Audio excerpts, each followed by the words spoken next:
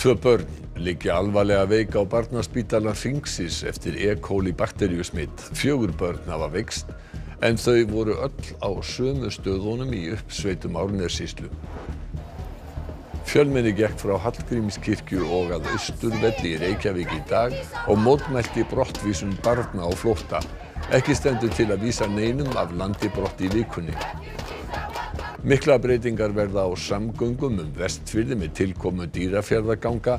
Landslutaskrifstofu fyrir vestan ætla að nýta sér breytingarnar og auglýsa ferðamannaleiðina Hringveg 2.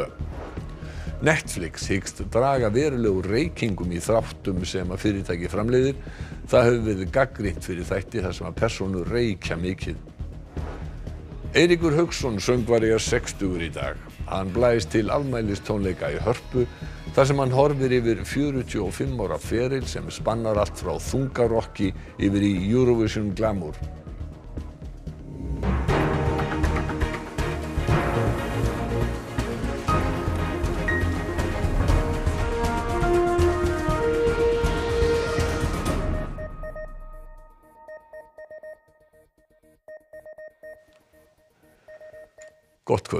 Tvö börn liggja alvarlega veik á barnaspítala Hringsins með nýrnabilun vegna sýkingar af E. coli bakteríu. Orsök smitsins er ófundin en bæði matvæli og drikjarvatni eru til rannsóknar. Alls hafa fjögur börn veikst. Fjögur börn hafa veikst eftir að hafa smitast af E. coli bakteríu. Tvö þeirra, þryggjára og sjö ára, liggja á sjúkrahúsi. Þetta er börn á aldrinu 5 mánuða til 7 ára og yfirleitt er þetta kemur þessi sjúkdómi fram mest hjá börnum en getur líka sérst hjá fullorðnum. Hvernig hilsast þessum börnum? Eitt því sem ég veit best á heilsast þeim alveg þokkarlega. Tvö uh, voru innlögð og hafa verið innlögð á barnaspítal ringsins en tvö þurftu ekki innlögn en það er fylst með þeim á, á barnalegnum. En eru þau alvarlega veik þessi sem ligg inni? Já, yfirleitt eru börn uh, veik ef þau þurfa á innlagna að halda og, og, og, og þegar þessi sjúkdómur kemur upp sem að lýsi sér sem nýrnabilun og blóðleysi þá getur ástandi orðið alvarlegt. Hilbriðs eftirlit Suðurlands, matvælarstofnun auglandlagnisembættisins reyna nú að grafast fyrir um það hvernig börnin smituðust. Við bindum þessa síkingur við, uh, við uh, uppsveitir Árnesíslu og Bláskóabögð að einstaklingar sem hafa verið þar á síðastliðnum 2-3 vikum og, og fá niðurgang og í talningum blóðuga niðurgang þau ætti að leita til læknis. Það er það sem við erum aðeins að einblýna á og reyna að finna út hvort þau hafa borðað á sömu stöðum og svo framvegis hvað þau hafa verið þannig að við gætum þurft að rannsaka þá staði betur. Framkymur á vef landlæknisembættisins að oftast megi reykja E. coli sýkingu til nautgripa og afurða þeirra. Helst að smitliðin í menn sé í menguðum matvælum og vatni en einnig getur smitt borist mann frá manni. Þau voru ekki saman börnin sjálf og, og, og hafa ekkert umgengist hvort annan nema uh, tvöðum sem börnum eru sískinni en, en, en annað eigaði ekki samilegt þannig að þau hafa verið á sömu stöðunum. Er búið útlöku að það getur verið í drikjavatni eða? Það er einn af þeim þáttum sem hefur verið að skoða mjög vel. Til eru líklegt að komi fram fleiri smitt? Ómögulegt að segja. Ég, þegar tvö tilfellu voru komin þá taldi ég ólíklegt að kemur fleiri en svo komu tvö í viðbátt þannig að maður veit aldrei. Þórólur hvetur fólk til hinlætis og að þvó sér vel um hendurnar. Jarðskjálfti af stærðinni 6,4 var seint á sjötta tímanum norður af Los Angeles í Kaliforníu í Bandaríkjónum. Þetta er stærsti skjálfti sem orði hefur í Kaliforníu í fimm ár. Hann fannst greinilega í Los Angeles. Þetta myndband var tekið upp á fréttastofu KCBS sjónvarsstöðvarinnar í borginni þegar skjálftinn reið yfir. Engar tilkynningar hafa hins vegar borist um skemmdir eða slís. Samkvæmt upplýsingum frá bandarísku jarðfræðistofnuninni var skjálftinn á ríflega 8 km dýpi í Móhafi eðimörkinni nálægt bænum Ritz-Crest, tæplega 200 km norður af Los Angeles. Efnt var til mótmæla í Reykjavík í dag vegna þess að til stendur að vísa tveimur afgönskum fjölskyldum frá Íslandi til Grikklands þar sem þær eru með alþjóðlega vernd. Gengið var frá Hallgrímskirkju og niður á Östurvöll. Með þessu vildi fólk sína fjölskyldunum samstöðu. Undanfarnar daga hafa fjölmarkir gaggrínt að vísa eigi fjölskyldunum úr landi. Samkvæmt heimildum fréttastofu verða engar brottvísanir í vikunni. Hvers vegna ertu hér? Ég er hér til að styðja mannréttindi og um, reyna að leggja mitt af óaskalunum til þess að koma við fyrir að börnum sé vísað út í óvissuna. Til að mótmæla um, að þau sé að fara að verða sænt úr landi. Því mér finnst þessi meðferð á flótaböndum vera til skammar fyrir Íslands þjóðfélag. Hvað viltu sjá gerast? Ég vil sjá breytingar út, útlendingalögum þannig að fleiri börn fái hér vend og skjól og mér finnst það óþólandi á, á Íslandi þar sem að við höfum heila allt til alls séum að útvísa börnum til landa þar sem að þeim er ekkert í bóði annað en bara gatan. Við viljum bara að þau verði ekki sett á landi svo þau geta fengið gott hússkjól og bara verið í skoðum skóla og eignast skoða vinni. Og bara vera á Íslandi að vera vendið hérna í Íslandi og fá eiga heima hérna með skott líf. Heldur þú að svona viðbyrður skili árangri? Ég efast ekki um það. Ég er alveg viss. Það er fólkið og undiraldan sem að mun vinna að lokum. Já, við erum enn hér á Austuvelli en Dasgrá laugrindar fyrir um svona hálftíma síðan en eins og heyrðist á viðmjöldum okkar þá var mikil samhugur í fólkinu hér. Uh, hinn þverrpólitíska þingmannanemnd í útlendingamálum hefur verið gaggrínt fyrir að vera ekki nógu virk og við tókum einmitt nokkra nefndarmenn tali í dag sem tóku undir það. Það vant að skýra umbóð fyrir nefndina til að geta náðu ykkur fram og það að við höfum þau verkfæri sem þarf til að, já, til dæmis leggja fram frumvöst eða, eða hvað það er. Og þetta er eitthvað sem að uh, ráþeirarnir eru að skoða þessa dagana. Fólk sem er með hæli á Gríklandi er ekki að njóta þeirra þjónlustu sem það þarf að fá og þetta er eitthvað sem þarf að breyta bara almennt þannig að, að við getum skotið skjólsúsi yfir fólk sem að getur ekki notið fullra mannréttinda í hæliskerfinu á Gríklandi. Já, hjá mér er eitt skipulegjandi mótmælundana. Uh, af hverju eru þið að taka slægin fyrir þessar fjölskyldur? Ég held að uh, á heildina liti þá erum við auðvitað að taka slægin fyrir allar fjölskyldur uh, en þessar tvær sem hafa verið í umræðinni núna endur speikla á mjög skýran hátt stöðu barna á flotta sem að búa við yfir vofandi brottvísun. Og markmiðið eru auðvitað að þessi börn fái hér að vera en auðvitað öll börn á flotta sem að hafa komið til Íslands í leita skjól og vernd. Og, og við auðvitað viljum og krafa fundarins er svo að brotti svona barna á flotta verði hætt frá Íslandi. Uh, en nú hefur útlendingstofnun verið harlega gaggrind inn í þessum málum en eru þau ekki bara að fylgja lögum alþingis? Allar ákvæðinir sem er teknar í þessum málum eru á ábyrð yfirvalda, á ábyrð stjórnvalda. Dómsmálar á þeirra er yfirmaður útlendingastofnunar þannig að þetta eru þeir aðila sem geta breytt þessu óháð því hverju er verið að fylgja þá eru þetta sömu aðila sem geta breytt þessu eins og skort og við sjáum það þetta á stuðningnum og, og samhugnum sem, við, sem var hér í dag að það er það sem að fólki vil. Heldur þú að þessi viðbyrjur skilja árangri? Ég trú ekki öðru, annars gætu við ekki staðið í þessu en við bindum auðvitað von við það að, að stefnan verði svo að þau börn sem eru hinga komin í leita skjólavernd fái hér að vera. Það eru auðvitað eina sem er hægt að gera fyrir börnin. Kæra þakkir fyrir þetta sem að erðla og við látum þessu lókið híðan af Östuvelli. Já, og við ætlum að fara til útlanda. Svein sjávarútversur á þarra Norex og fylgistjóri í Troms, var í dag dæmdur í fimm ára fangelsi fyrir kynferðisbrot gegn þremur ungum hælisleitendum á árunum 2011 til 2017. Lúdvíksen var sakveldu fyrir að hafa misnotað aðstöðu sína sem fylgistjóri og embættismæður til að brjóta á mönnunum. Hann hefur ávallt neita sök en hefur viðurkent að hafa stundað kynlíf með einum mannana. Dóminum verður áfríað að sögn lögmanns Lúðvíksens. Vestfyrðingar vonast til að fleiri ferðamenn sæki vestfyrði heim með því að markaðsetja svo kallaðan Ringveg 2.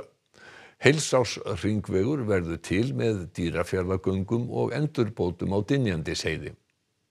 Vestfjörðarstofa og Vesturlandsstofa hafa gert með sér samstarfsamningum þróun leiðarinnar 850 km um sjö sveitafjölu á Vestfjörðum og Dalabeyð á Vesturlandi og kallast Ringvöður 2. Kemur til með opnun dýrafjörðaganga sem verða opnuð í september 2020.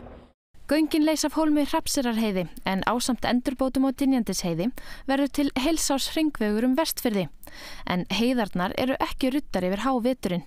Það kemur mörgum á óvart sem þekk ekki til á svæðinu að það er í rauninni stittra og þægilegra að vetri til að keira frá Reykjavík til Patræksfjörðar heldur en frá Ísafyrði til Patræksfjörðar og með þessum göngum erum við þetta bara að sjá gjör breytingu á sangöngum hérna innan svæðis.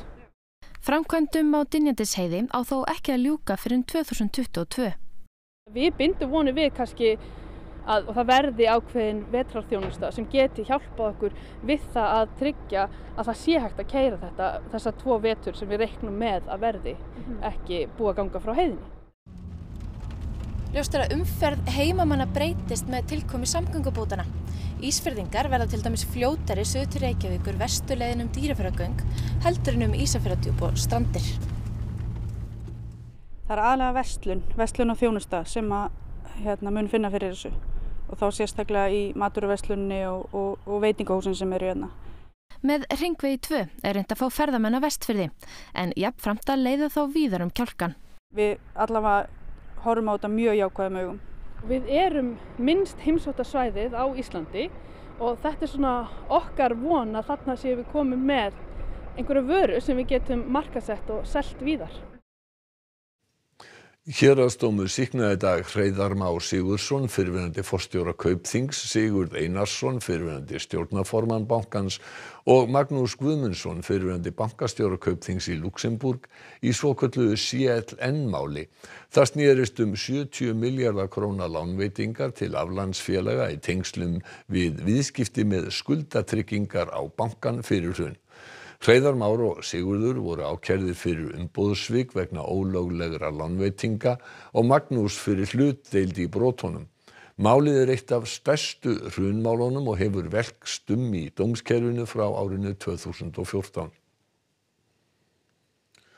Netflix hyggst draga verulegur reykingum í þáttum sem að fyrirtæki framleiðir eftir harða gaggríni. Nýleg skísla sýnir að reykingar á skjánum eru mun algengar í Netflix þáttum en í myndum annara framleiðenda. Efnisveitan hefur margótt verið gaggrind fyrir að framlega þætti þar sem personur reykja mikið. Nú verður hins vegar breyting þar á, en í dag tilkynnti efnisveitan að reykingar í þáttum sem höfða til ungs fólks verða einungis leiðar þegar það skipta máli í sögulegu ljósi. Í öðrum þáttum verða reykingar einungis hindar ef þar þykja mikilvæg fyrir personuna. Í yfirlýsingu segir Netflix þó áfram stiðja listrænt frelsi handrisöfunda og framlegenda en veitan horfist í augum við skaðsemi reykinga og hvaða áhrif það getur haft á ungt fólk að sjá reykingar síndar á jákvæðan hátt á skjánum. Ný stefna Netflix kemur í kjölfar útæktar samtaka sem berjast fyrir tóbakslausum lífstíl. Útæktin leiti til að mynda í ljós að á árunum 2015 til 2017 komu reykingar 444 sinnum fyrir í þáttaröðinni Stranger Things 95 sinnum í þáttaröðinni House of Cards, 300 sinnum í þáttaröðinni Unbreakable Kimmy Smith og 278 sinnum í henni vinsali Orange is the New Black. Útæktin leiti sumulegis í ljós að reykingar koma oftar fyrir í þáttum Netflix en í öðrum vinsalum bandariskum þáttum. Reykingar hafa áður leitt til siðferðslega álitamála í Netflix þáttum en Vanessa Kirby sem leikur Margretti prinsessu í The Crown sagði frá því að hún og leikstjórin þau velti fyrir sér hvort það væri siðferðilega rétt að sína Margretti reykja meðan hún var ólétt. Þrátt fyrir að það sé tali nánast örugt að Margrét hafi reykt á meðgöngunni afriðu þau að láta hann ekki sjást með síkaretu. Stuðlagil á Efra Jökuldal hefur slegið í gegn hjá ferðamönnum sem margi sjá þó aðeins hlut af stannum. Enn á eftir að auðvelda aðgengi að jökulsá að sunnanverðu. Þar er hægt að komast niður í sjálft gilið. Við bæinn Grund á Jökuldal er hafin uppbygging á aðstöðu fyrir ferðamenn sem farnir voru að streyma niður að bakka jökulsár á dal.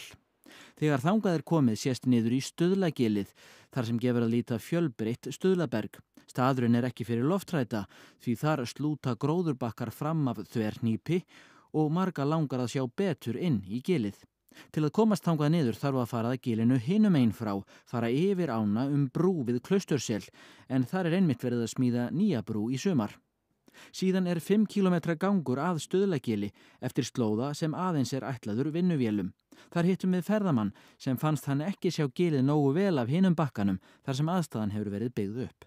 Uh, the difference is here you're able to really go into the canyon and that gives you a whole different perspective which in my opinion is a lot better. Um, I get to see it at water level with the salt columns straight down into the crystal clear blue waters. It's just incredible.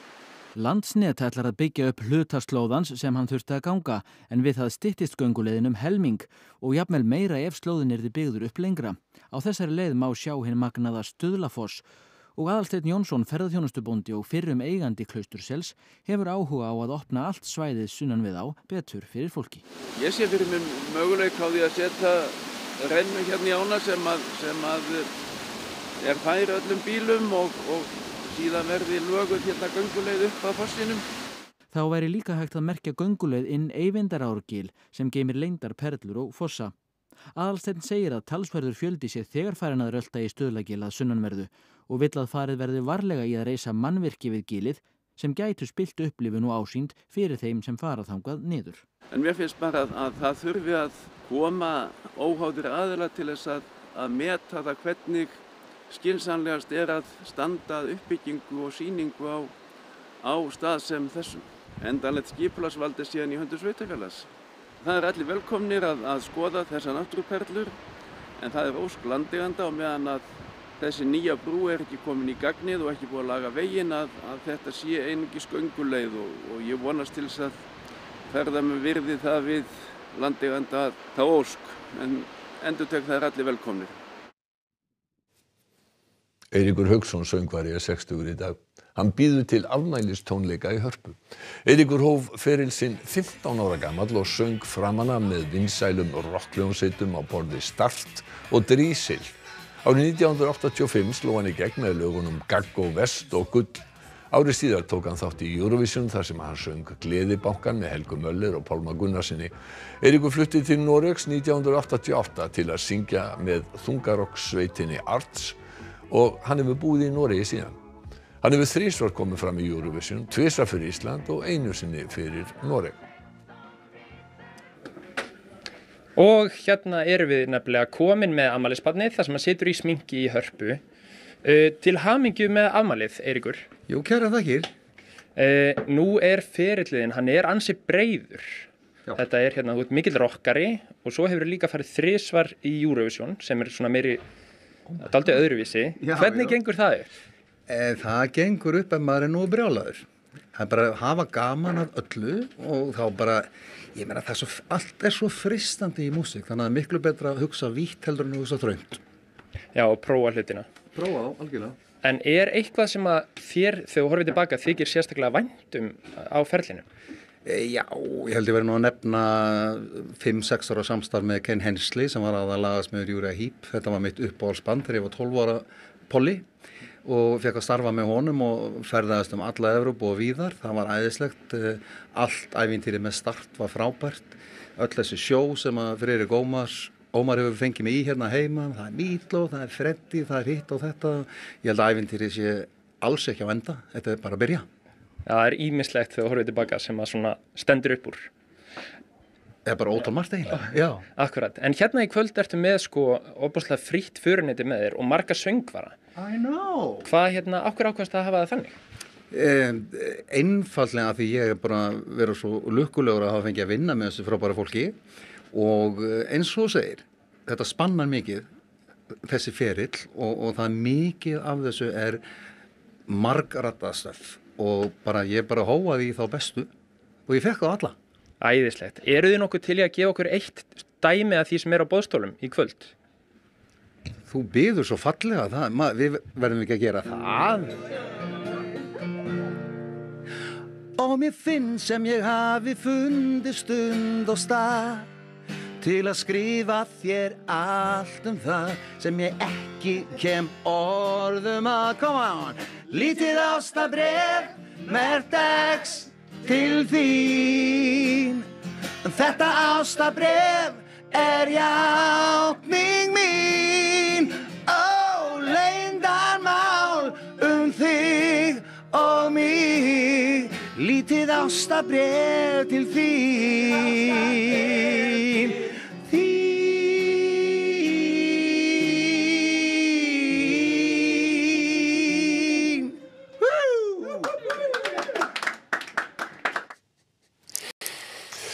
Við vitum ekki hvort sungið hafi verið um lítið ástabrif á götuháttið jafningjafræslunar í dag en tónlistamenn, dansarar og hefðarfólk frá líðinu öll brugðu á leik á háttíðinni. Allur ágóði rann til minningasjóðsum mann sem að lést vegna ofneislu Livja. Jafningjafræðslan tók til starfa árið 1996 og hefur síðan frætt íslenska úlinga um áleitin mál sem vefjast fyrir ungu fólki á borði sjálfsmynd, íknefni, kynlíf og fleira. Við erum ekki, við erum ekki að koma að bara svona að kenna þeim, við erum líka bara að spjalla við þau og hvað þeim finnst og svona. Hugmyndin er svo að ungt fólk nái betur til barna en eldra fólk og sé því vel í stakk búið til að ræða við ungmenni og lauma inn fróðuleik í spjallið. Við erum bara svona koma fram skoðunum, eða þú veist, ekki endilega einhæfum skoðunum, þú veist, við látum krakkana tjá sig sem er gætt mikilvægt og bara svona látum við pæla í hlutum því að þú veist, þau eru framtíð. Og það var mikið um dýrðir á hátíðin í dag. Tónlistamenn og dansarar stegu á stokk.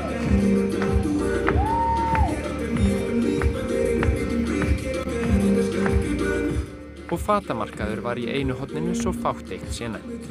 Svo heldum við svona götuháttíð og þá erum við bara bjóð upp á veitingar sem kosti eiginlega ekki neitt og svo allir peningur sem við fáum fyrir í minningarsjón hjá Jábræk líf. Sjóðurinn er tilengaður minningu Einar Starra Óskarssonar sem varð bráðkvattur vegna livjaeitrunar í fyrra. Hvernig líst ykkur á þessa vestlu hjá jafningafræslunni? Já, bara yndislega, hún er alveg frábær. Já, alveg góð stemning og svona hérna. Mm. Þá skulum við sjá hvernig viðrar á hefðarfólk og okkur hinn. Það dregur úr skúrunum í kvöld og á morgun léttir viða til sunnan og vestanlands það stittir viða upp á norður og austurlandi þótt áfram verða mestu skýja. Hitti 8 til 18 steg hlýjast sunnanlands Rapp Guðmundsson viðfrængur fyrir nánar yfir horfurnar hér rétt á eftir og við ætlum fyrst að líta á hvað er í íþórtum kvöldsins hjá Einari Erni Jónssoni. Gunni Bergson formaður KSC segir leikmenn á HM Kvenna almennt haga sér betur en á HM Karla. Gunni situr í aganemt FIFA á HM í Fraklandi. Frank Lampard tók ofinbarlega við stjórnartaumunum hjá Chelsea á Englandi í dag. Hann segist hafa fulla trú á sinni getu þrátt fyrir litla reynslu. Og Herú kom hressilega á óvart og sendi Suður-Amerikumeistar Chile út úr Suður-Amerikukeppninu í nótt. Helstu aðtriði fréttana í kvöld. Tvö börn liggja alvarlega veik á barnaspítalar þingsins eftir E. coli bakteríu smitt. Fjögur börn hafa veikst en þau voru öll á sömu stöðunum í uppsveitum Árnessíslu. Fjölmenni gekk frá Hallgrímskirkju að Austurvelli í Reykjavík í dag og mótmælti brottvísun barna á flótta. Ekki stendur til að vísa neinum af landi brott í vikunni. Mikla breytingar verða á samgöngum um vestfyrði með tilkomu dýrafjarðarganga. Landsluta skrifstofur fyrir vestan ætla að nýta sér breytingarnar og auglýsa ferðamannaleiðina Ringveg 2. Netflix hyggst draga verulega á reykingum í þáttum sem fyrirtæki framleiðir. Það hefur verið gaggrínt fyrir þætti þar sem